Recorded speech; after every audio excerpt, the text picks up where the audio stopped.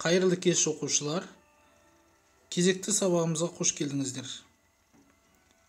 Осы жолғы өтетін тақырыбымыз жылу қуаты және пәк. Пәк деген не деген сөз? Пәк деген таза деген сөз. Бірақ бұл жерде физикада бұл қысқартылған сөз. Бұл бізде пайдалы әсер коэффициенті деген сөз. Жерде иді ұмытып кеттік. Пайдалы әсер коэффициенті. Мысалға машинаға сіз белгілі бір энергия яғни бензин құясыз ол белгілі бір максимальный энергия алуға болады. Бірақ өмірде ешқандай нәрсе идеальный емес. Пайдалы әсер коэффициенті эффективность шектеулі. Сол үшін сіздің мысалы 30-40 пайызын ғана машинаны жүргізуге ал қалғаны жылуға ауаға тарап кетеді. Қалған жылу. Вот осы пайдалы әсер коэффициентінің 30-40 пайыз екендігін көрсетеді. Кез келген нәрседе пайдалы әсер коэффициентін анықтауға болады. Физикада ғана емес мысалы өмірде сіз уақытыңыздың қанша бөлігін пайдалы өткізіп жатсыз? Яғни сіз өзіңізді тәрбиелі тәрбиеңізді біліміңізді дамытып жатсыз ба? Соны бір ойланып көру керек. Сол кезде пайдалы әсер коэффициентін дамытуға тырысасыз. Ал біз жылуда не істейміз? Жылуда пайдалы әсер коэффициенті эта деген грек әріпімен белгіленеді. Ол жұмыстың жалпы жылуға қатынасына тең және оны да 100 пайызға көбейтеміз. Ә, біз қарап отырсақ негізі өмірде бүкіл нәрсе ә, хаосқа ұмтылады. Яғни әрі бері кездейсоқ жүруге ұмтылады. Бірақ соған қарамастан бұл өмірде керемет бір тепе теңдік орнаған. Яғни бұл ойланатын бір мәселе. Ал енді карно карно деген кісі ә, атақты ғалым. Эксперимент жасап сол жерде пайдалы әсер коэффициентінің белгілі бір шамадан жоғары болмайтындығын анықтаған екен. Мысалы оның біз негізі біле кетіңіздер. Ол формула былай белгіленеді. Бұл өмірде ең максимально болатын ә, пайдалы әсер коэффициенті максимальный шегі. Бұны дәлелдеуге де болады. Бірақ біз ол жерде формулаға келіп тоқтала кетейік. Т бір деген ыстық дененің жылуы т екі салқын дененің жылуы. Яғни кез келген екі ә, денені кез келген процесте екі дене қарастыруға болады.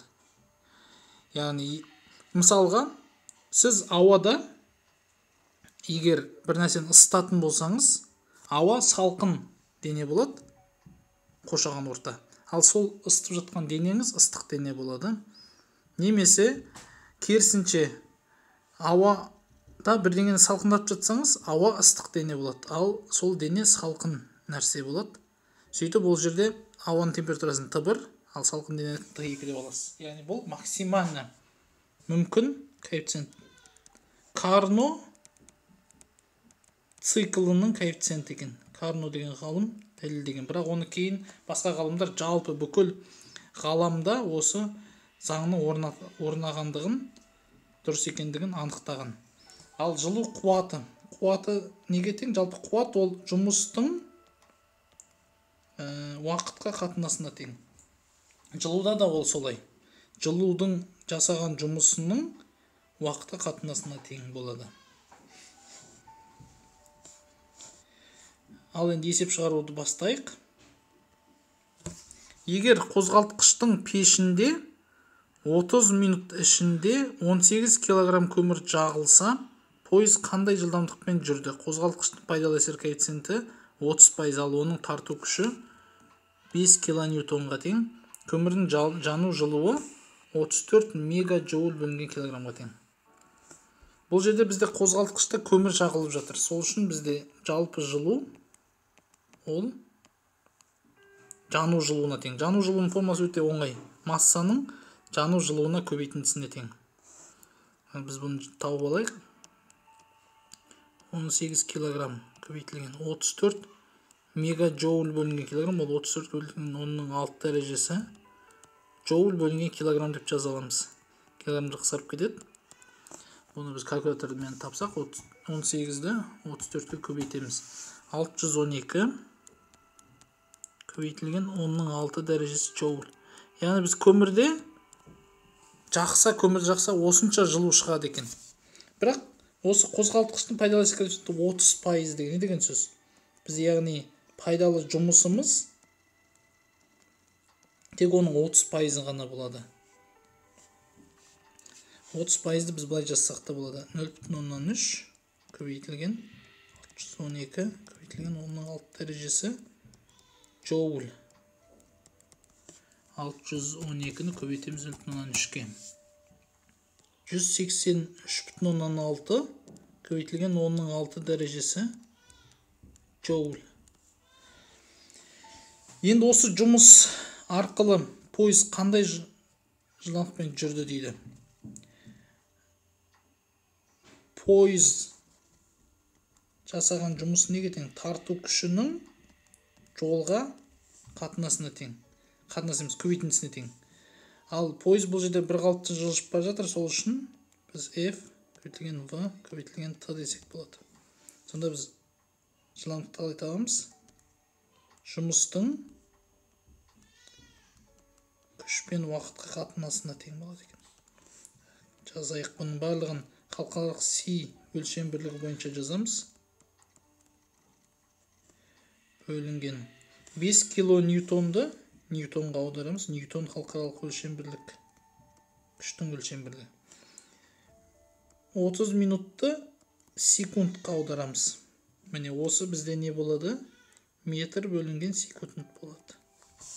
Ал енді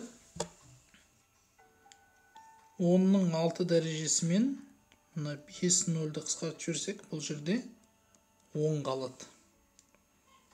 Сосын он мен бесті қысқартсақ екі. Екі мен алтыны қысқартсақ мында үш. Сонда жүз сексен үш бүтін оннан алтыны бөлеміз.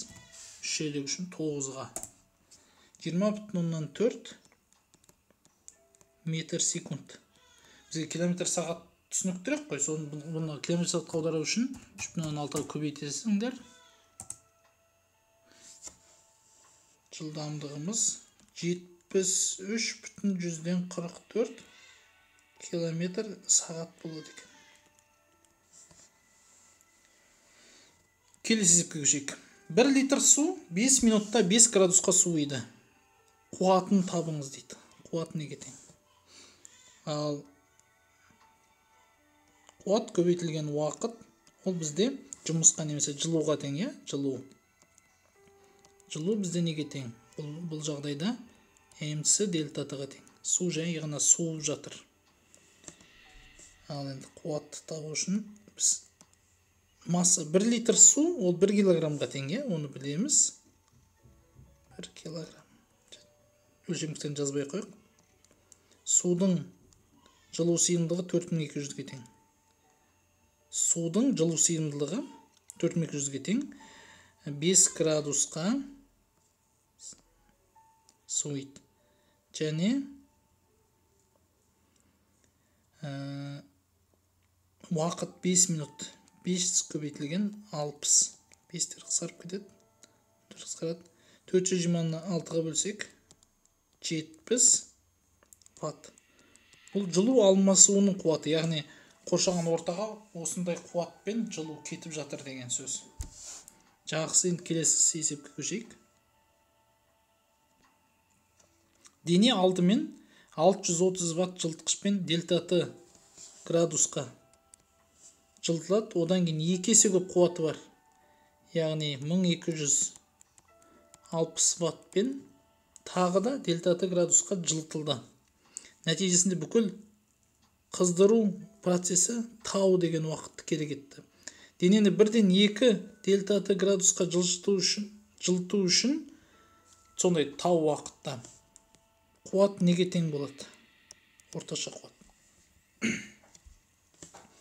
Екі жағдайда да уақыт бірдей иә? Яғни неде бірдей? Жылуда бірдей. Бірінші жағдайда мына тау уақытын тауып алайық тау неге тең? Бірінші процесс бізде. С дельта т с деген жылу сыйымдылық болсын. Яғни естеріңізге сала кетейік. Q неге тең? Масса көбейтілген меншікті жылу сыйымдылық көбейтілген дельта т температураның өзгеріс немесе сразу жылу сыйымдылық көбейтілген дельта т мынау меншікті жылу сыйымдылық мынау жылу сыйымдылық деп аталады. Бөлеміз бұны 630-ге 30-ға қосылған екінші бөлігінің уақыты неге тең?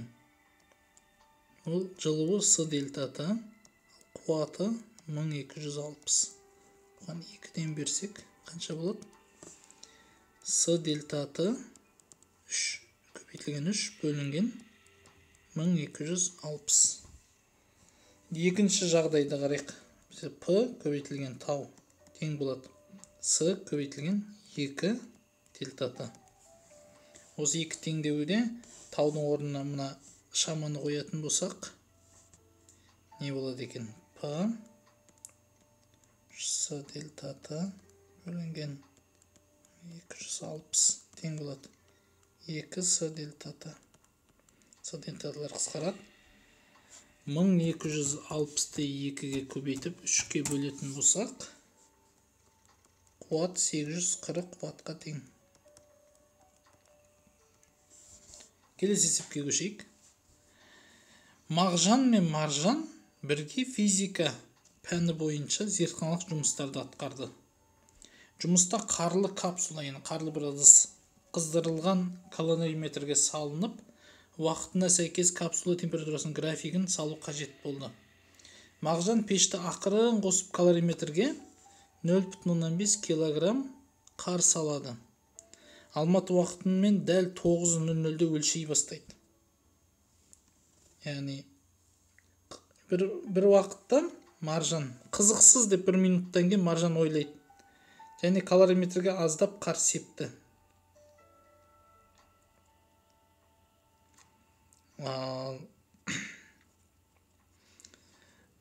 Графиктің көмегімен пештің сыйымдылығы және қосылған қардың массасын анықтаңыз.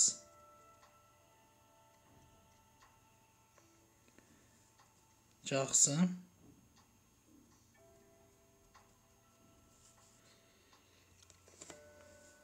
Так.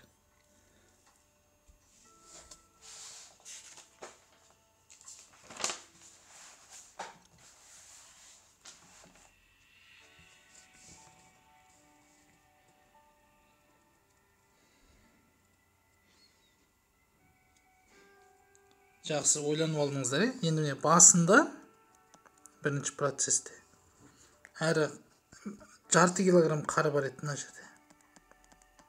Соны бұл жерде пештің қуаты деген шығар сыйымдылығы емес пештің қуаты болу керек.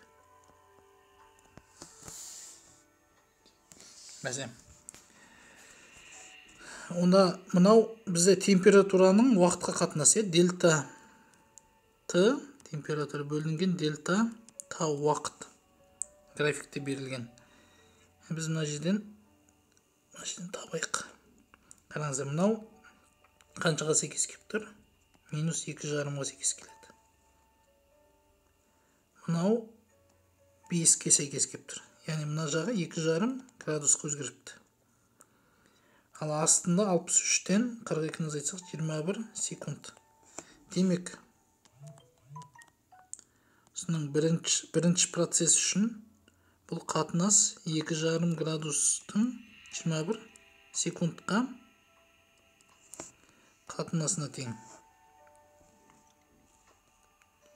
Ал енді екінші жағдай. Басқа бір мына жер қар салған кез. Мына жерді қарайық. Мынау бізде минус төрт жарым ал астыңғы жағы мынау минус алты жарым. Демек мына жерде екі градус өзгерген уақыт 105-тен 84 азайтсақ 21 секунд. Яғни температураның өзгерісінің уақыттың өзгерісіне қатынасы екінші процесте екінші бөлігінде 2 градус бөлінген 21 секундқа тең.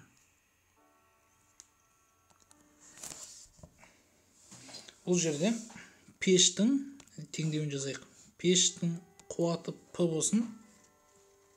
П көбейтілген дельта т бір неге тең? Мс дельта бірге тең басында масса жарты килограмм екені белгілі бұл қар болғандықтан бұны мұз ретінде алсақ болады мұздың жылу сыйымдылығы 2100 джоуль бөлінген градус килограммға тең осы жерден біз қуатты таба аламыз яғни масса нөл бүтін оннан бес көбейтілген екі мың бір жүз көбейтілген бұл қатынасы неге тең екі жарым градус бөлінген жиырма бір секунд. жиырма бір мен жиырма бір қысқарып кетсін. Мына жерде жүз қалды иә? Қуат. Неге тең?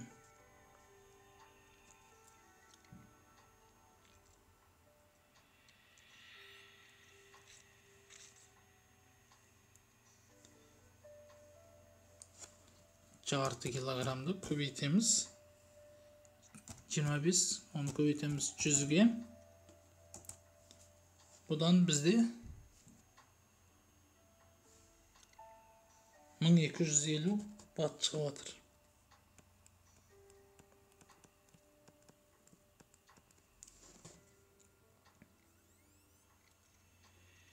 жүз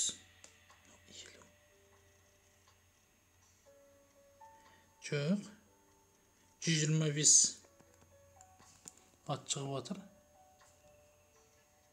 дұрыс ал енді екінші бөлігінде оған бір масса қосылсын яғни екінші бөлігінде теңдеу неге тең болады п дельта тау екі м қосылған м с дельта т екі жүз жиырма бес ватт көбейтілген олардың қатынасы 21 бөлінген 2-ге тең оны тағы 2100-ге бөлейік бұл неге тең м штрих қосылған 0,5 сонда бізде м штрих 0,125 килограммға тең болады келесі есепке көшейік көлденең қимасы s сым импульстік жүйе арқылы тартылады суретте берілгендей иілген жіппен белгіленген зат электр қозғалышының білігіне қатаң бекітілген. Ал қалғандары еркін айнала алады жоғары жылдамдықпен иілу кезінде ішкі үйкеліс салдарынан сымның температурасы дельта т жоғарылайды. Сол белгілі болса сымды в жылдамдығымен тартуға қажетті минимальный мотор қуатын табыңыз дейді. П минимум неге тең дейді? Бізде берілген заттарды айтайық. Берілгендер материалдың тығыздығы жылу сыйымдылық меншікті жылу сыйымдылығы жылдамдық температураның өзгерісі және с көлденең қима ауданы. П неге тең. Жұмыстың уақытқа қатынасына тең. Т уақытта қаншалықты жылу жасалынады? Сол жылу бізде қуатқа тең яғни жұмысқа тең иә? Жылу деген белгілі бір мына т уақытта өткен бөлік бар ғой. Мына дельта м масса. Сол немесе м масса дейік. Осы масса дельта т градусқа температурасы жоғарылайды. Яғни бұл м көбейтілген с дельта т бөлінген т болады. Ал масса неге тең ол тығыздық көбейтілген қима аудан көбейтілген ұзындық ұзындық ол в т-ға тең иә в көбейтілген т с дельта т-ны бөлеміз уақытқа сонда бізде минимальный қуат неге тең ро с вс дельта тең екен келесі есепке көшейік температурасы 20 градус болатын шәйнек газ оттығынан 40 градусқа дейін 2 минут аралығында қыздырылады жылытуды жылдамдату үшін судың жартысы төгіледі яғни 1 минуттан кейін судың температурасы сол кезде 55 градусқа жетеді бұл баяу көрінгендіктен олар қалған судың жартысын тағы төгіп тастайды бірақ сонымен қатар қыздырғыш клапанын кездейсоқ ұрып жіберіп оның қуаты екі есе азайып қалады. Қаншалықты уақыттан кейін чайник 100 градусқа дейін қыздырылады. Қоршаған ортаға жылу жоғалтуды елемеуге болады дейді. Яғни басында қанша температураға дейін өзгеріп отыр? Дельта т қырықтан жиырманы азайтамыз жиырма градус болады. Тау бір уақытта яғни екі минут аралығында. Сосын суды екі есе мысалы су екі есе азайған кезде қырықтан елу беске дейін яғни 15 градус қанша уақытта? бір минутта қыздырылады қарасаңыз екі есе азайып жатқан жоқ дельта демек бұл жерде ә, шәйнектің өзінің де жылу сыйымдылығы бар деген сөз. Шәйнектің жылу сыйымдылығын біз с деп алайық. Судыкін жылу сыйымдылығын с ноль деп алайық бастапқы. Басында не болады? С қосылған с нольді қыздырады. Кейін с қосылған с ноль бөлінген екіні қыздырады. Қандай қуатпен? Белгілі бір п деген қуатпен болсын. Сосын дельта т үш неге тең? Температураның соңғы өзгеруі. 100 градусқа дейін қыздырылады иә жүзден елу бес азайтсақ 45 градус. Осы уақытты табуымыз керек. Ол кезде қуат екі есе азайып қалады дейді кездейсоқ байқаусыздан ал темп, су, судың төрттен бір бөлігі ғана алады яғни оның тағы да жартысын азайтты яғни жартысы қалған жартысын азайту деген төрттен бірі қалды деген сөз. Міне біздің үш теңдеуіміз дайын енді жазайық. П тау бір неге тең? С қосылған с ноль дельта т бір. П тау 2 с қосылған с 0 бөлінген 2 дельта т 2 ал п көбейтілген тау 3 бөлінген 2 тең с қосылған с 0 бөлінген 4 дельта т 3 алғашқы екі теңдеуден біз с мен с нольдің қарым қатынасын тауып ала аламыз. Бір біріне бөліп жіберейік. Тау бір бөлінген тау екі неге тең бір бөлінген екі? Пылар қысарып кетті. С қосылған с ноль көбейтілген. Дельта т бір жиырмаға тең. С қосылған с ноль бөлінген екі көбейтілген. Дельта т екі он беске тең.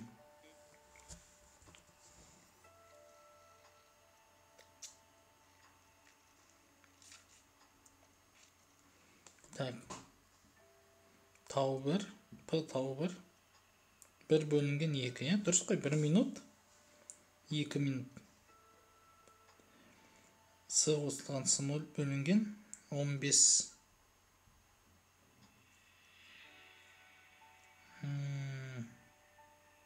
жоқ жоқ бәсе мына жерде бір қате кетті тау бір екі минутқа дейін яғни екіге тең онда мынау 30 болады 30 с қосылған 15 с 0 жақшаны ашып отырмыз тең болады 20 с қосылған 20 с 0 с-ларды мына жаққа жинайық 10 с тең болады мына жақта 5 с 0 болады онда 2 с тең болады с 0-ға с 0-дің орнына 2-сіні қояйық немесе бәрібір с 0-дің орнына 2-сіні қоямыз сонда ә, бірінші теңдеуіміз мысалға не болады?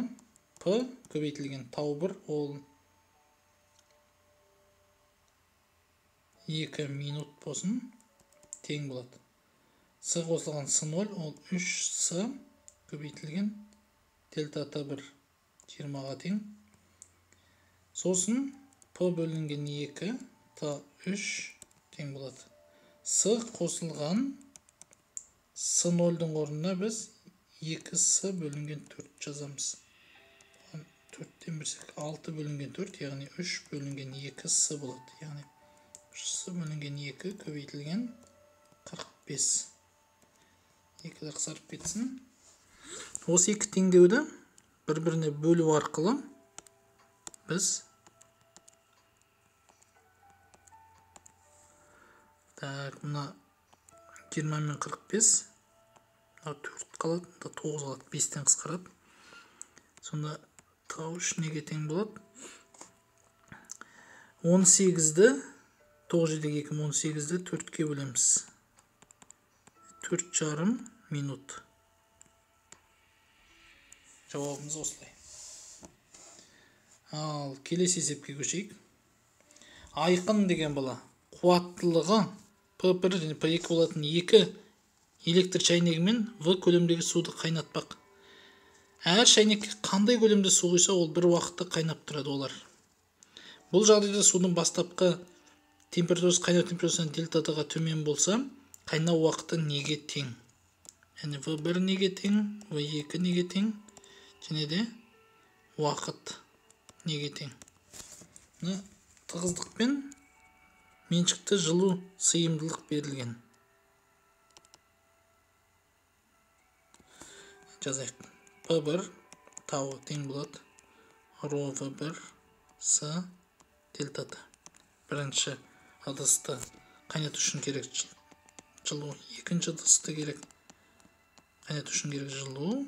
Мынаға тең сосын біз қандай теңдеуді білеміз? В бір қосылған в екі тең болады в ға иә екі теңдеуді бір біріне бөліп жібереміз сонда бізде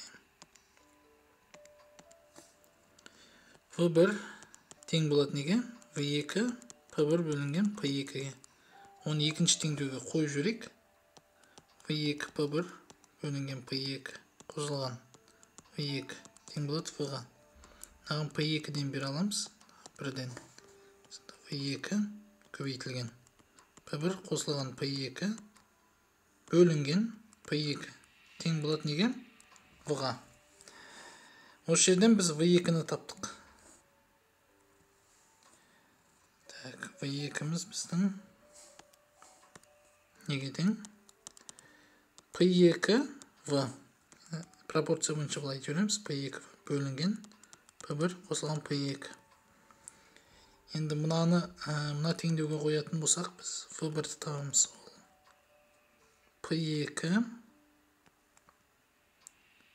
в p1 бөлінген p2 p1 қосылған p2 p2-лер қысқарады в біріміз неге тең п1 в бөлінген п1 қосылған п2 осы екеуінің кез келгенін мына бірінші немесе екінші теңдеуге қояйық мысалы бірінші теңдеуге қойсақ п1 тау неге тең ро п1 в бөлінген п1 қосылған п2 с дельта т п1лер қысқарады уақыт бізде ро в с дельта т бөлінген п1 қосылған п2 болады келесіге көшейік бұл ертегі сияқты ұзын бір есеп екен калория бұл өнімді сіңіру нәтижесінде адам шығаратын энергия мөлшері. Калория бұл атмосфералық қысымда бір калория мынандайға тең. Бір градус суды бір грамм бір градус су үшін бір грамм суды жылытуға қажетті жылу мөлшеріне тең жұмыс пен энергияның өлшем бірлігі. Адамға қажет калория мөлшері орындалған жұмысқа физикалық белсенділікке жынысына жасына тіпті географиялық ендік суық немесе ыстық климатқа байланысты. Таңертең винни пух пен питичок питачок қоянға барғанын білеміз. Жақсы тәрбиеленген қоян достарын шақырды. Винни пух мұндай ұсынысқа риза болып келісіп қоянды ренжітпес үшін тар коридордан әрең бәрең үйге кіреді. Сол сәтте қоянның бал мен таңқурай вареньесін сол сәтте емес сол үшін бұларды бітіргеннен кейін иесіне алғыс айтып үйіне қайтуға уақыт келді деп шешті. Алайда винни пух үйге бірден жете алмады. Өйткені ол қоянның есігінің тар коридорында яғни сол жерде тұрып қалды. Ә, алғашқы массасы 20 килограмм болатын винни пух әр қайсысы бір жарым килограмм болатын үш банкі бал және де 500 грамм таңқурай жемінен 6 банкі жеді делік. Сосын 100 грамм бал ол мынандай калория. Ал 100 грамм таңқурай жемінің калория мөлшері мынандай. Енді ұйқы кезінде дененің энергия шығыны дененің тынығу кезіндегі энергия шығынына тең және дененің салмағы 1 килограммына мынанша энергия кетеді дейді. Мынаны басқа бір түспен белгілейік. Так қандай түс қалды бізде? Көк түс бар. Міне дене тынығу кезде 1 килограммына мынанша жылу бір сағатта кетеді екен? Ән айту кезінде бұл мән бір килограммға мынанша болады. Енді дауыстап оқу кезінде бұл мән әр килограммға мынанша болады дейді. Винни пухқа күніне 8 сағат ұйықтауға рұқсат етіңіз. Ал қалған уақыт жартысын ән айтып қалған жартысы өзінің өлең жатқа айтады. Сонда ол күніне 24 сағат болса 8 сағат. Ұйқы 8 сағат. Ән айтады екен және де 8 сағат бойы өлең оқиды екен. Тақпақ айтады тақпақ жатқа айтады. Енді осы ерекше жағдайдан құтылу босану босатылу үшін қанша күн уақыт бар? Қанша күн уақыттан кейін бұның денесіндегі энергия жанып бітеді? Енді бірінші біз жалпы энергиясын қарастырайық. Оның денесінде қандай артық энергия бар? Міне үш банкі бал бір жарым килограмм төрт жарым килограмм яғни төрт мың бес жүз грамм бал бар иә? Ол әрбір жүз граммы үш жүз он төрт килокалория бөлінген 100 грамм так калькуляторымызбен есептейік яғни мына жүздерді қысқартып жіберсек 45 көбейтілген 314 яғни бізде 14130 килокалория балдан энергия алыпты одан кейін 6 банкі 500 грамм таңқурай жемінен жеді не деген ағайын неме иә 300 грамм көбейтілген. 271,4 килокалория бөлінген 100 грамм. Жерден тағы да қысқартып жіберейік. Бұлар сол кезде 30 көбейтілген. 271,4 килокалория. Яғни 8142 килокалория. Жалпы қанша килокалория болды? Осыны қосамыз. 14130-ға 22272 килокалория бұл қанша джоульға тең екен бір бұны көбейтеміз мыңға себебі бұл кило ғой сонда 22 миллион 272 мың калория көбейтеміз әр калория ол 4 бүтін 18 68 демек бұда 93 миллион 248 мың 409,6 джоуль бар екен енді көрейік бұның массасы қанша болды 27 килограмм болып кетті бірақ бұл ә, ақырындап 20 килограммға дейін азаяды сол үшін бұның орташа массасын алайық біз 20 килограмм болғанда бұл шыға алады демек бұның орташа массасы 23,75 килограмм енді күніне қанша энергия кететіндігін есептейік 8 сағат ұйқы 8 сағатты көбейтеміз орташа массасы 23 бүтін килограмм айтамыз әрбір килограммға қанша джоуль кетіп жатыр 3977 бүтін 46 джоуль бөлінген сағат килограмм қысқарып кетсін ә, так 8 көбейтілген 23 бүтін жүзден 75 көбейтеміз үш мың тоғыз жүз жетпіс жеті бүтін жүзден қырық алты жеті жүз елу бес мың кетеді екен күніне ұйқыға тура сол сияқты жиырма үш бүтін жетпіс бес көбейтілген ән айту кезінде бұл жеті мың екі жүз сексен бес бүтін нөл отыз екі. Сегіз көбейтілген жиырма үш бүтін жүзден жетпіс бес көбейтеміз жеті мың екі жүз сексен бес бүтін нөл отыз екі. Миллион үш жүз сексен төрт мың жүз елу алты бүтін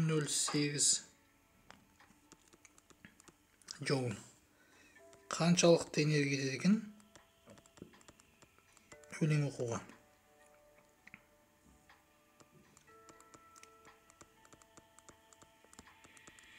Сегіз көбейтілген жиырма үш бүтін жүзден жетпіс сегіз көбейтілген бес мың алпыс алты бүтін нөл жиырма сегіз.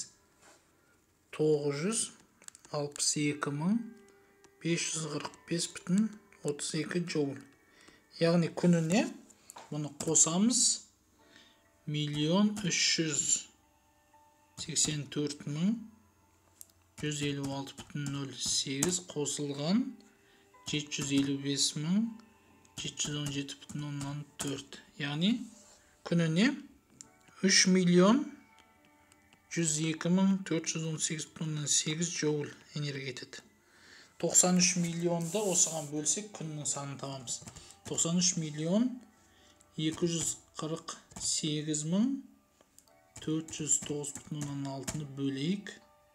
үш миллион жүз екі мың төрт жүз он сегіз бүтін оннан сегізге. отыз күн. Ә, бізге отыз күн уақыт керек екен. Так енді ә, осымен есептеріміз соңына келді. Жақсы сау болыңыздар.